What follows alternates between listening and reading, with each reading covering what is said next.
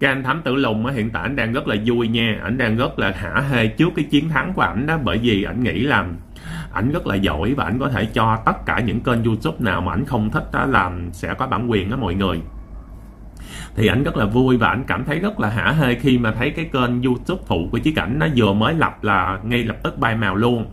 Thì ảnh rất là vui và tỏ vẻ rất là đắc chí mọi người. Thì um, nói chung là mọi người thấy là chí cảnh hơi buồn đúng không? Thì mọi người kêu là thôi đừng có buồn. Mình cứ uh, vui vẻ để mà um, nó thấy mình buồn như vậy thì nó cười mình. Nhưng mà thật sự mà nói á người ta có nói một cái câu á, là cười người chớ có cười lâu. Cười người hôm trước hôm sau người cười. Thì bây giờ mình cứ cho nó cười đi mọi người. Kệ nó nó cười đi nó cười mất kiểm soát cũng được nữa nó cười không có điểm dừng cũng được nữa nó cười sao mà vài bữa đó gia đình nó đưa nó vô chỗ mà kiểu biên hòa đồ á hay là chợ quán rồi đó cho nó cười đi. Trời ơi lâu lâu cho ảnh cười đi cho ảnh hưởng cái niềm vui chiến thắng. Ảnh đang rất là kiểu rất là tự tin đó mọi người rất là kiêu ngạo. Và trong cái livestream uh, trưa nay thì ảnh có đem một cái lắc bạc ra rồi ảnh nói là chiếc cảnh sẽ đeo lắc bạc đồ này nọ rồi đó mọi người. Thì uh, thật sự mà nói á um, cái hành vi của ảnh thì um, nó hơi bị uh, mất dạy. Có thể là ảnh không có được dạy dỗ đó không có được giáo dục đó cho nên thì ảnh làm vậy thì cũng đúng thôi. Nói chung là văn hóa đó mọi người văn hóa và cái sự giáo dục của gia đình có thể là do gia đình của ảnh nó không có dạy dỗ ảnh ờ, khéo léo đó, cho nên là ảnh rất là ngạo mạn như vậy đó mọi người. Lắc bạc lắc ơ rồi đó thì ờ, nói chung á thì ai sẽ là người đeo lắc bạc thì mình cũng chưa biết ha. Mình cứ từ từ mình chờ đi. Nhưng mà mà kiểu mà lên live stream rồi à, hả đem cái lắc bạc đồ ra đồ này nọ đồ. Trời ơi là trời má ơi má. Rồi hả còn bài đập khoe cái giấy mà à, thư mời thư ai mời ảnh lên làm việc đồ này nọ rồi nữa. Quá trời cái anh thám tử này ảnh coi như ảnh chiêu trò ảnh thủ đoạn. Thì nói chung á có nhiều người hỏi là chí cảnh có buồn không? Thì có buồn nha nhưng mà có nản không thì không có nản. Nói chung bị nhiều rồi bị biết bao nhiêu rồi. Hồi xưa giờ mọi người cũng biết đó. Đối với những cô chú mà mới theo dõi đây thì có thể là thấy uh, bất ngờ. Nhưng mà những người mà theo dõi chí cảnh lâu á, thì cũng biết là chí cảnh là có một cái có một cái sự kiên trì và không bao giờ bỏ cuộc đâu mọi người. Dù cho có bị bất kỳ một cái vấn đề gì đi chăng nữa thì chí cảnh vẫn uh, vẫn cố gắng vẫn ờ, không bỏ cuộc à, vẫn ờ, không bao giờ từ bỏ hy vọng nha. Cho nên thì thôi nói chung là mấy bữa nay thì à, ảnh um, cũng khá là vui đó tại vì ảnh thấy là ở chứ cảnh bị cái này chứ cảnh bị cái kia rồi à, anh em này bị cái này anh em kia bị cái kia ví dụ như là anh Thanh Nguyền nè, khi mà đưa cái clip mà bản thân đó tiết lộ hết sự thật đó, lên thì ảnh cũng tìm cách ảnh cho ao ngay lập tức cái video đó, y chang như cái cách mà ảnh làm với chí cảnh. Thì cái cách của ảnh là ảnh ăn cắp cái thêm neo á, ảnh nâng cấp cái hình thu nhỏ của chí cảnh. Có nghĩa là chí cảnh là người tự đưa cái hình đó lên. Cái ảnh đó là người vô ăn cắp cái hình đó. Cái sau đó ảnh mới đưa lên một cái video mà ảnh đã để hồi um, ảnh đăng lên hồi 6 7 tháng trước đó ảnh mới đưa cái thêm neo đó vô cái xong rồi ảnh mới báo cáo. Có nghĩa là vừa ăn cắp mà vừa la làng đó vừa ăn cắp của chí cảnh nha hình là của chí cảnh thêm neo của chí cảnh cái hình thu nhỏ đó. Ảnh mới đưa lên một cái video cũ. Cái sau đó ảnh báo cáo để ảnh qua mặt cái thuật toán của YouTube á. Tại vì người ta nghĩ rằng là à cái video của ảnh là cũ rồi cho nên là à, cái hình đó là chắc là ảnh đưa lên trước. Chí cảnh là người đưa đưa lên sau cho nên ảnh mới có ảnh chơi cái gậy bản quyền đó. Thì đó là một cách mà trí cảnh cảm thấy rất là dơ luôn mọi người, dơ cực kỳ luôn. Thì có nhiều người hỏi rằng tại sao chí cảnh không có làm ảnh? Ví dụ như ảnh làm mình như vậy thì mình làm lại đúng không? Nhưng mà nói thiệt, trong suốt cái sự nghiệp làm youtube của em em chưa bao giờ có ý định là cho người ta ăn gậy bản quyền, dù cho người cùng phe hay khác, phe gì đi chăng nữa. Nhưng mà miễn là làm youtube kiếm cơm là chiếc cảnh không bao giờ nghĩ tới cái việc cho người ta bản quyền đâu. Thật sự mà nói thì mình làm gì mình cũng có đạo đức một chút xíu, đúng không mọi người? Thì ví dụ như ảnh lên, ảnh phót em em phót ảnh, nói qua, nói lại thì mắc cái gì mà sao mình lại chơi cái trò bịt miệng người ta mà phải chi á, mình làm đúng thì cũng được nữa, phải chi mà ờ chỉ cảnh lấy hình ảnh của ảnh không xin phép ảnh á, thì ảnh cho em ăn bản quyền, em cũng chịu nữa, em cũng cảm thấy vui vẻ nữa. Tại vì ờ mình vào mình lấy của ảnh, mình lấy hình ảnh của ảnh rồi đó, thì ảnh cho em bản quyền, em chịu. Bây giờ tôi không có lấy cái gì của ảnh hết trơn á ha tôi không có làm gì hết mà ảnh vô cái trang của Chí Cảnh, cái YouTube của Chí Cảnh, ảnh ăn cắp cái hình thumbnail, có nghĩa là cái um, hình thu nhỏ đó, cái ảnh lấy về rồi xong rồi ảnh lại chơi bản quyền Chí Cảnh như vậy đó. Một cái hành vi mà chỉ cảnh cảm thấy nó dơ, mà nó vừa dơ mà nó vừa hèn đó mọi người. Rồi không biết là mai mốt ảnh dạy con ảnh sao ha mọi người. Mình cảm thấy rất là thắc mắc là một cái người cha mà vừa dơ vừa hèn như vậy thì không biết là mai mốt dạy con mình làm sao nữa. Và chỉ cảnh cảm thấy rất là quan ngại cho cái tương lai của con ảnh đó. Tại vì ảnh như vậy đó, cái nền giáo dục của ảnh như vậy và cái tư tưởng của ảnh như vậy thì nó bị lệch lạc rồi. Rồi mai mốt không biết là ảnh dạy con ảnh như thế nào hay là con của ảnh nó mai mốt lớn lên thì cũng y chang như ảnh nữa đã có một thám tử lùng là quá quá chớn rồi lại thêm một người nữa thì nói chung là nó rất là kinh khủng luôn mọi người. Rồi lỡ mai mốt mà con ảnh giống ảnh á, thì người ta gọi là cha nào con nấy đúng không mọi người? Thấy cũng tội nghiệp ha thấy tội nghiệp cho cái tương lai á mọi người. Tại vì có một cái người cha mà không có được um, liêm chính á một cái người cha mà coi như là chơi hèn chơi bổng như vậy thì rất là tội nghiệp rất là tội nghiệp. Rồi tiếp tục. Tôi á, thì có thể sẽ bỏ tiền ra để mà có thể làm ảnh được. Nhưng tôi không có làm như vậy, tại vì ai mà chơi dơ như ảnh như vậy mọi người? Dù cho mình có uh, phải là đối lập với nhau hay là thế này thế kia nhưng mà mình không có nên chơi dơ như vậy. Chơi dơ như vậy làm thôi. Dù cho mình có thắng mình cũng không có được vinh quang đó đúng không mọi người? Dù cho bây giờ ảnh là người chiến thắng đó ảnh bây giờ là coi như ảnh thắng chứ cảnh rồi đó chứ cảnh là thua rồi. Chứ cảnh đâu có đấu lại ảnh tại vì ảnh quá giỏi ảnh quá giỏi. Nhưng mà liệu cái sự chiến thắng đó nó có vẻ vang hay không? Nó có vinh quang hay không? Và có tự hào hay không? Hay là mình phải thấp thỏm lo âu, mình ngồi mà mình cũng tự suy nghĩ lại coi mình làm cái hành động đó, nó có có kiểu có anh hùng không? Hay là mình phải chơi cái trò mà rình mò như vậy? Thì sau khi mà ảnh thấy, ảnh gỡ được video của chiếc cảnh rồi thì bắt đầu cái video đó ảnh là ẩn tiếp đi mọi người. Ảnh không có dám xóa mà ảnh ẩn đi. Ảnh là tiếp tục ẩn đi ảnh, lúc ẩn lúc hiện như vậy đó, trời, một cái con người gì mà kỳ cục như vậy đó, mà hồi trước giờ đi ủng hộ hồng lâu, ủng hộ chính nghĩa đâu. Trời ơi là trời. Chí cảnh không có làm như ảnh được đâu. Cho nên là thật sự mà nói thì nhiều người hỏi tại sao mà mình không làm ảnh như vậy đó mọi người.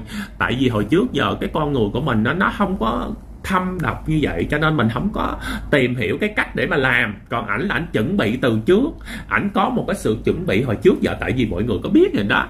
Ví dụ như bản thân chí cảnh hôm bữa mà bị mọi người um, kiểu hiểu lầm đó thì mình đã thấy buồn rồi mình cảm thấy bị quen ức mình bị chỉ trích như vậy thì mình cảm thấy buồn. Còn bản thân của anh này là anh đã quen rồi cho nên là mọi người thấy ảnh rất là bình tĩnh rất là bình thường. Mặc dù là trời ơi bây giờ người ta quay lưng người ta nói ảnh thế này thế kia nhưng mà mọi người thấy không? Ảnh vẫn lên livestream ảnh cười hề hề hề hề nghe cái hàm răng ra cười như vậy đó mọi người. Thì uh, chứng tỏ rằng cái anh này ảnh giống như kiểu mà điếc không có sợ ấy đó mọi người. Coi như là ảnh đã bị chai sạn cảm xúc rồi. Bởi vì ảnh là một cái người luôn đi ngược lại với cộng đồng luôn đi ngược lại với cộng đồng. Trong những cái drama trước là, trời ơi, ban đầu thì ủng hộ sao nó quay xe, ban đầu ủng hộ thì sao nó quay xe. Cho nên trong cái drama này thì mình cũng thấy y chang như vậy, bài cũ nhưng mà người mới. Nhưng mà rất là tiếc cho ảnh là cái người mới này thì được rất là nhiều người sự yêu thương, nhưng mà rất là tiếc cho ảnh là cái người mới, tức là hồng long á, được rất là nhiều người yêu thương, ủng hộ. Cho nên ảnh không có quay xe được, ảnh không có dám quay xe, ảnh chưa có quay xe nhưng mà theo quan điểm của chí cảnh, suy nghĩ rằng là thứ nhất á, cái gì của mình thì nó sẽ là của mình mọi người.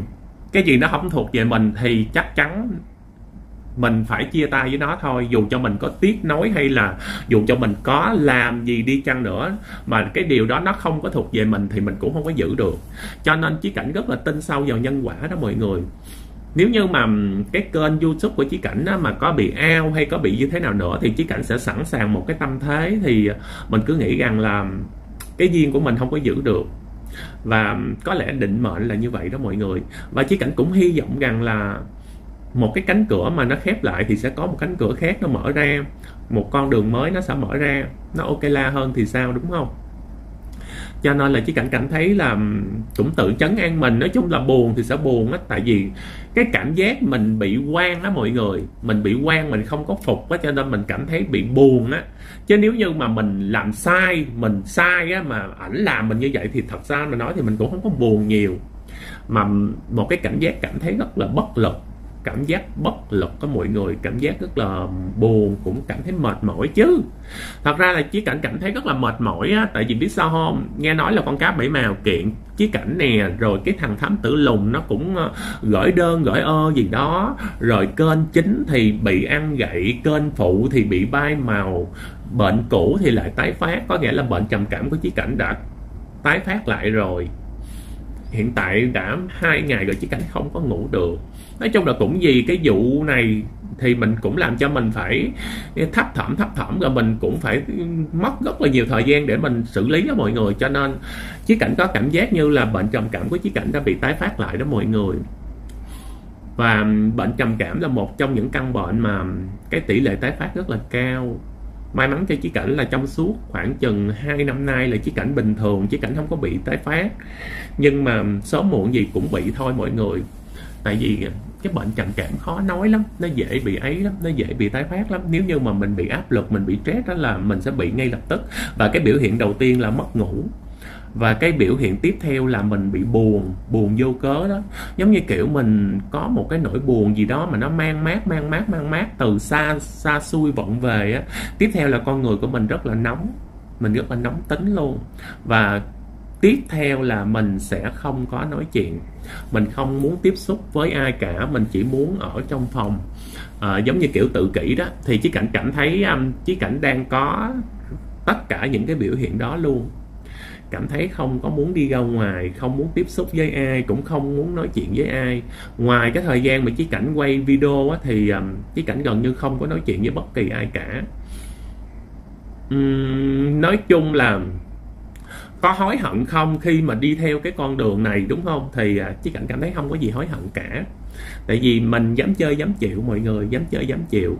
Dù cho mai mốt mình có gặp bất kỳ một cái vấn đề gì thì mình cũng sẽ can đảm để đối đầu. Uhm, mình vẫn uh, được nhiều thứ chứ đúng không? Trong cái drama này mặc dù chí cảnh vào rất là trễ nhưng mà chí cảnh nhận được rất là nhiều sự yêu thương. Và chí cảnh cũng nhận được những ngày tháng vui vẻ và nói chung là nó có ý nghĩa nhất trong cuộc đời của mình đó. Từ hồi trước giờ thì mình luôn là một trong những cái cái cái, cái gì đó nó rất là mờ nhạt. Nó không có một cái điểm nhấn nào trong cái cái cái cuộc đời của mình trong cái sự nghiệp của mình.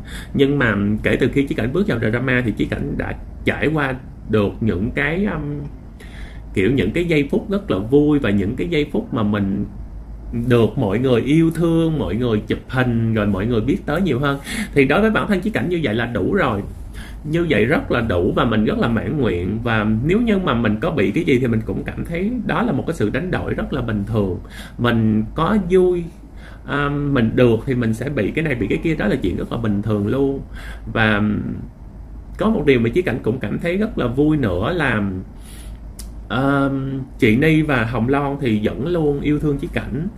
Um, mặc dù um, mấy chị thì cũng ít có thể hiện cái điều đó nhưng mà chí cảnh nghĩ rằng trong lòng chị Ni và Hồng Loan thì cũng dành cho chí cảnh một cái tình cảm. Và mấy chị chắc cũng sẽ vui khi mà lâu lâu thấy chí cảnh quá thân thành bảy màu đồ này nọ rồi đó. Nói chung thì mấy chị xem clip thì mấy chị cũng cảm thấy vui đúng không mọi người? Chí cảnh nghĩ rằng là mấy chị xem thì mấy chị cũng vui đó. Mọi người vui thì mấy chị cũng vui đúng không? Cho nên là uh, chí cảnh nghĩ rằng trong cái drama này thì uh, chí cảnh mang tới một cái làn gió rất là mới đúng không? Thay vì ngồi nghe mấy cái má mà nữ hoàng phân tích đó nói chuyện thì cũng hơi bị nhức đầu hơi bị buồn ngủ. Thì mọi người có thể lướt qua cái video của chí cảnh để xem thì mọi người cũng cảm thấy vui. Có trò này trò kia đâu khôi hài như vậy. À, thật lòng mà nói thì um, chí cảnh sẽ không có mong muốn là mình đối đầu trực tiếp với lại cái anh thám tử hoặc là bộ ba tam sơn. Nó ngoài dự kiến của chí cảnh đó mọi người mình vẫn mong muốn là ừ sẽ cùng với nhau để mà uh, bảo vệ cũng như là ủng hộ Hồng Loan rồi cùng lên tiếng để mà uh, nói bên kia rồi đó tập trung vào ví dụ như là ờ cái uh, mẹ con bà Gia nè vợ chồng xèo khọt nè rồi hả cái ông sạc lỡ sạc ơ gì nè rồi cái ông đờn ghi teo nè rồi con tám nè chuột chù nè rồi cái bà bảy màu rồi nè. Thì nói chung đó là những người mà chí cảnh muốn hướng tới thôi. Còn cái bộ ba tâm sơn là giống như kiểu bắt đắc dĩ đó mọi người bắt đắc dĩ thôi chứ à, mình không có một kế hoạch gì cả mình cũng không có một cái sự tính toán gì cả. Có nhiều người nghĩ rằng à chắc là à, chị Ni hay là Hồng Long đứng phía sau để mà ừ, giật dây đâu này nọ rồi đó thì thật sự mà nói không có mọi người. Thật sự mà nói cho đến bây giờ chí cảnh dám khẳng định và dám thề luôn nha. Chị Ni với Hồng Long chưa bao giờ mà kêu chí cảnh ơi em ơi em phót người này em ơi em phót người kia. Chưa bao giờ có một cái sự mà uh, kêu chí cảnh luôn á rồi um, ờ, mọi người thấy là cái bộ ba tâm sinh thấy là ở chiếc cảnh cũng có tương tác với chị ngọc hay là cũng có chụp hình với chị ngọc thì nghĩ à chắc là muốn lăn xê chị ngọc lên rồi dìm luật sư của họ xuống. Không có mọi người. Không có. Tất cả chỉ là ờ đi tiệc rồi đi sự kiện đồ đó rồi gặp nhau rồi rất là ngưỡng mộ chị ngọc bởi một cái um, cái tâm và cái tầm á, thì mình xin chụp hình vậy thôi chứ thật ra cũng không có một cái gì mà gọi là uh, nâng lên rồi hay gì người khác xuống không có mọi người mình không có cái tính đó và chị Ngọc cũng không có cái tính đó luôn. Chị Ngọc là một người rất là khiêm tốn luôn đó mọi người. Thì nói chung là để cho cái bộ ba tâm sơn hiểu rõ là như vậy. Còn chí cảnh lên tiếng là tại vì cũng nói nhiều lần đó là tại vì thấy chị ni với hồng long bị quan á rồi mình khó chịu mình tự lên tiếng á. Chị ni còn không biết luôn á thật sự mà nói thì chị cảnh lên tiếng mà chị đi còn không biết nữa mà. Chị đi còn không biết là, ủa, rồi rồi. Chị thì còn hỏi chị cảnh là, ủa, em em hồi nào nữa đó? Không biết luôn á. Thì làm gì có cái chuyện mà chị Ni hay là Hồng Loan là là đứng phía sau không có trời ơi, tự nguyện hết mọi người, tự làm luôn á. Cho nên là tự làm, tự chịu. Cho nên là nếu như mà có thể thì mình cũng rất là mong muốn là ừ mình Ờ, sẽ cùng bộ ba tam sơn để mà có thể dạy dỗ hay là uh, lên và khịa những cái người bên kia đâu giống như xưa vậy đó thì cũng được cũng vui. Mình cũng đỡ bị áp lực của mọi người. Mình cũng đỡ phải mà sợ người ta cắn sau lưng rồi mình cũng mệt nữa. Nói chung là cũng mệt, đúng không? Fan của họ thì dù sao thì cũng có một lượng fan nhất định rồi mình cũng phải mệt mỏi, nhất là cái thằng thám tử lùng, là một cái thằng thủ đoạn nữa. Cho nên tối ngày mình phải đi đối phó với nó, mình cũng mệt. Cho nên là dạo gần đây là mọi người thấy chiếc cảnh không có thời gian để chăm sóc bất kỳ ai cả luôn á. Buồn lắm mọi người. Tôi thì tôi không có muốn gọi tên nó luôn á mọi người. Chí cảnh là không có muốn luôn á, tại vì cái tính của chí cảnh thì nói chung á là tôi không có hiểm, mọi người, tôi nói xong là tôi thôi hà. Tôi nói xong người đó rồi, nếu như mà người đó đừng nói gì tới tôi là tôi bỏ qua rồi tôi xong luôn mọi người. Và nếu như, và nếu như mà cái người đó có một cái thiện chí là để làm lành rồi này nọ là là chiếc cảnh sẽ bỏ qua ngay lập tức luôn á. Nói chung cái tính của tôi thì nó nó hơi nóng, kiểu mà thấy vậy rồi mình nóng ruột thì mình lên mình nói vậy thôi. Nhưng mà thật ra là, trời ơi, cái tính của tôi nó cũng lành tính lắm. Tôi không có để bụng, để ơ gì đâu mọi người. Nhưng mà chắc là bây giờ cũng không có ai mà tin tưởng cái bộ ba tam sơn đó nữa rồi cho nên cái con đường mà quay trở lại thì chỉ cảnh nghĩ rằng chắc cũng không có đâu đúng không mọi người? Cuối cùng thì uh, chí cảnh nghĩ rằng là dù cho chí cảnh có uh, tiếp tục hay là do quá mệt mỏi do quá bị cái này bị cái kia mà nhiều khi mình cũng không còn kênh để mình lên tiếng nữa thì um, chí cảnh vẫn mong muốn là chị Ni và Hồng Loan thứ nhất là phải giữ gìn sức khỏe nói chung là có sức khỏe thì mới có thể làm được, mới có thể đi một cái đoạn đường dài để mà chiến tới cùng với mẹ con bà Gia thì rất là mong luôn á là chị Ni với Hồng Loan giữ gìn sức khỏe thật là tốt.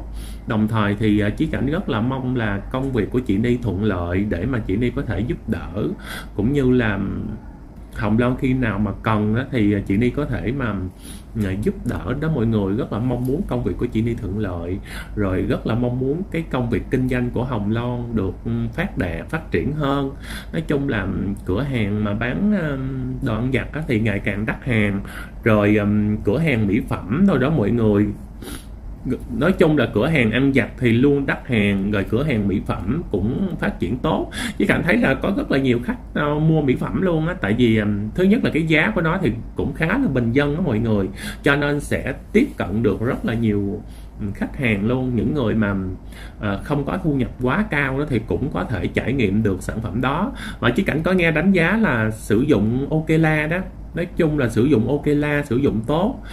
Um, rồi chúc cho cửa hàng mà bán cái um, uh, túi sách tàu này nọ đó của vợ chồng uh, chị Hồng Loan á phát đạt phát triển ok la nói chung là ngoài chúc cho Hồng Loan thì chỉ cảnh cũng xin chúc cho những anh chị ví dụ như là anh Quy Sang với chị Hồng Ơ thì có mở một cái um, cái cái uh, giống như kiểu một cái tiệm mà um, xăm chân mài môi đồ này nọ đó mọi người. Thì um, chí cảnh có nghe nói là tay nghề của chị hồng ơ rất là giỏi và làm rất là đẹp và thậm chí là mấy anh chị đó đó. Và thậm chí là mấy anh chị đó thường rất là khó tính luôn á nhưng mà vẫn dám để mà giao chân mài đồ cho đó mọi người cho làm luôn á. Thật ra mấy anh chị đó khó lắm không có ai mà đụng vô được đâu. Nhưng mà rất là tin tưởng luôn á. Và chỉ cảm thấy là làm cũng khá là đẹp đó chứ cảnh cũng đang muốn đi làm nè mọi người, đang muốn đi làm, đang muốn đi qua chị hồng ơ làm mà bữa giờ á.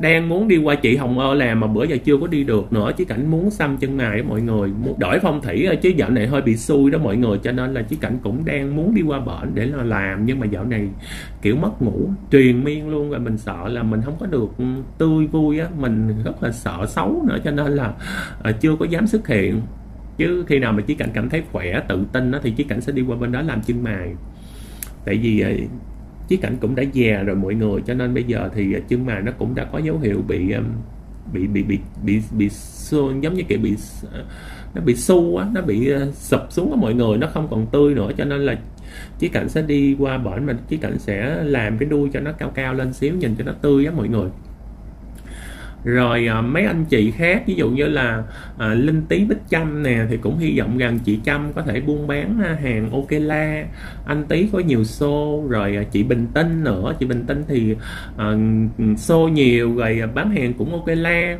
hay là chị may ca rồi đó. Nói chung là tất cả những anh chị đó thì chỉ cảnh rất là mong muốn mấy anh chị đó ngày càng phát đạt mình không biết là mình có thể duy trì tiếng nói được bao lâu bởi vì cái kênh của mình thì hiện tại đang bị um, như là ngàn cân treo sợi tóc đó, nó rất là mong manh. Nếu như mà họ đồng loạt họ làm đồ này nọ đó thì có thể là mình cũng sẽ bị ao đó mọi người. Cho nên cũng khá là lo lắng luôn mọi người. Lo lắm nói chung là lo lắm. Có nhiều chị á, nói á là bay thì làm lại nhưng mà mọi người ơi nó không có đơn giản đâu mọi người. Mình phải bỏ ra rất là nhiều thời gian, công sức. Mình mới có thể được như bây giờ. Trời ơi, tôi cũng 6 7 tháng rồi đó mà chưa biết á, hả là mọi người có ủng hộ giống như trước hay không nữa. Ngày xưa thì ờ, mình không có bị phốt mình không có bị này bị kia thì ờ, nhiều người quan tâm. Nhưng mà bây giờ là ờ, một số khán giả của bà bảy màu rồi một số khán giả của ba kênh đó thì cũng đã đâu có thích chí cảnh nữa. Cho nên là cái con đường mà làm lại từ đầu nó cũng mệt lắm ví dụ như là mình làm rồi mình cứ bắt đầu bắt đầu lại hoài đó. Tại vì mọi người không làm cho nên mọi người kêu là cứ lập kênh đi lập kênh làm lại đi. Nhưng mà nói chung là làm lại mệt lắm mọi người. Nó không có đơn giản đâu. Mình phải tạo dựng lại rồi họ muốn thì họ lại tiếp tục làm nữa. Mọi người có hiểu vấn đề không? Họ muốn thì họ làm nữa cho nên mình cũng mệt chứ. Mình cũng cảm thấy mệt. Cái clip ngày hôm nay thì chỉ cảnh sẽ không có kiểu không có chửi nhiều cũng không có um, nói nhiều nhưng mà chỉ có tâm sự cho cô chú anh chị thôi. Lâu lâu mình có một cái buổi tâm sự. Và chỉ cảnh nghĩ rằng chắc là cái clip này cũng sẽ không có được nhiều view tại vì mọi người nghe cũng chán tại vì mọi người đã quen chỉ cảnh là lên uh, khịa này khịa nọ hay là có những cái lời nói đó rất là mạnh mẽ thì mọi người mới xem lâu. Còn tâm sự đồ này nọ thì chắc là mọi người sẽ xem nhanh thôi và mọi người cũng sẽ không có xem nhiều được. Um, thằng thám tử lùng á, thì nó kêu chỉ cảnh là đi về quê cắm câu á, thì uh, có thể là như vậy. Có thể là nếu như mà tình hình không ổn thì chiếc cảnh cũng sẽ đi về quê mọi người. Tại vì uh, cuộc sống ở Sài Gòn thì nó cũng hơi bị áp lực. Thứ hai nữa là mình cảm giác như mình không có có có đi đâu mình cứ ở trong trong phòng suốt như vậy thì ờ, cái tình trạng bệnh của mình nó ngày càng nặng hơn. Rồi thêm nữa là ăn uống nữa không có được điều độ bữa ăn bữa hông nữa chí cảnh thì không biết nấu ăn.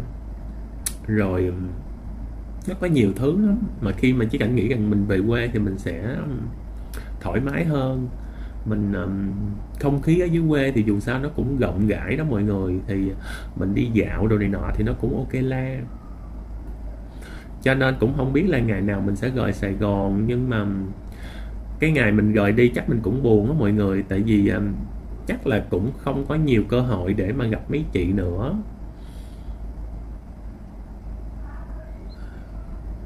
Và nhớ lại những cái ngày tháng mà vui vẻ như vậy thì mình cũng cảm thấy ờ, cũng bùi hồ bùi bùi ngùi đó mọi người. Cũng cảm thấy hơi bị um, giống như kiểu uh, mình cũng hơi bị luyến tiếc á. Mình luyến tiếc mình cũng chưa thật sự muốn rời đi nữa tại vì ở thành phố Hồ Chí Minh thì cái cơ hội mà để cho mình phát triển sự nghiệp đồ này nọ đó thì nó sẽ ok la hơn.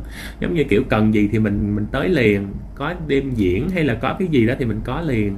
Còn khi mình về quê thì um, mình sẽ không có nhiều cái cơ hội để mình uh, gặp gỡ mọi người á. Cho nên mình cũng sẽ chìm vào quên lãng đó mọi người.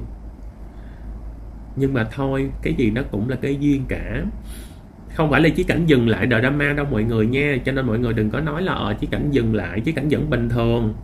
Dù cho chí cảnh về quê thì chí cảnh vẫn ủng hộ hồng loan và chị ni bình thường. À, vẫn lên clip bình thường mọi người vẫn giống như, như bây giờ là mình lên clip nhưng mà chỉ có một cái là ừ mình sẽ không có đi đâu được thôi mình không có đi tới đâu được gì đó mọi người. Chứ mình vẫn lên tiếng điều điều mỗi ngày cho nên mọi người cứ yên tâm nếu như chỉ cảnh về quê. Ở Sài Gòn mệt lắm mọi người mệt mỏi áp lực lắm áp lực căng thẳng cho nên thôi về quê kiếm một cái um, cái cái cái chỗ nào đó rồi mình mình ở cho nó yên tĩnh rồi um, kiếm chỗ nào mà trồng rau nuôi cá rồi này nọ rồi đó mọi người. Rồi mình sẽ quay những cảnh ở quê đầu thêm thêm vô. Tại vì à, mọi người ơi khi mình làm cái chủ đề drama thì mình không có thể làm hoài được có lúc cũng phải dừng lại thôi. Thì ở chí cảnh cũng đang tìm những cái chủ đề mà nó thân thiện với môi trường đó. Nó vui vẻ, nó, kiểu, quay à, tại vì khán giả của chí cảnh là ở bên nước ngoài nhiều, cho nên chí cảnh nghĩ là những chị đó sẽ thích coi những cảnh ở dưới quê, đúng không? Cho nên chắc là ừ, em sẽ về quê. Mọi người thấy sao? Cho chí cảnh xin một cái lời ừ, khuyên coi là có nên về hay không? Rồi mấy chị có thích coi những cảnh ở dưới quê không? Em thì thật sự mà nói thì em cũng đang muốn về á cho nên mấy chị cho em xin một cái lời khuyên ha.